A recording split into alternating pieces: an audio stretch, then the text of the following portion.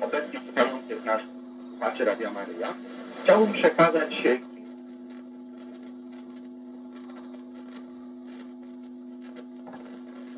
Heb ik vandaag? Nou.